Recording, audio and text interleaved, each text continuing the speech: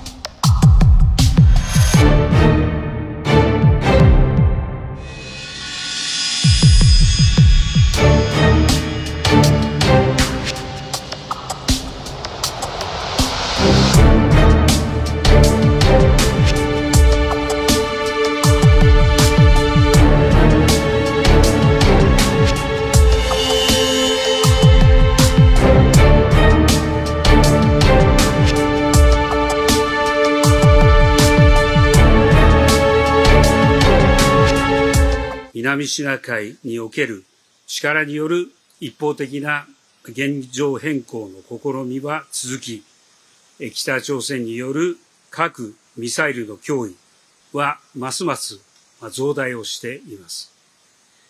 こうした状況において、今、日米韓3カ国の戦略的連携の潜在性を開花させることは、我々にとっての必然であり、また時代の要請でもあります。